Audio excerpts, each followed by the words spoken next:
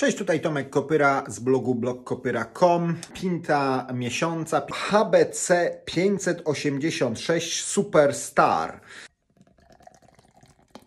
No, mętne, jak to Hazy IPA powinno być. Nie czuję za wiele. Jakbym miał powiedzieć, co czuję, to bardziej tą nutę mydlaną, takiego szarego mydła, biały jeleń. Natomiast nie czuję za bardzo żadnej gujawy, liczy i tak dalej. No, ale spróbujmy.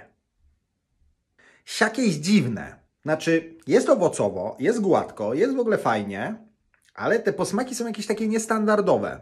To nie jest złe, ale nie potrafię ich nazwać. Fajna goryczka, umiarkowana, ale jest. Gładkość, świetna gładkość. Rzeczywiście takie trochę mdłe, ale nie bardzo słodkie smaki. Natomiast to nie jest mango, to nie jest marakuja, to nie są e, cytrusy. To są takie bardziej słodkie, mdłe, białe owoce. Wasze zdrowie.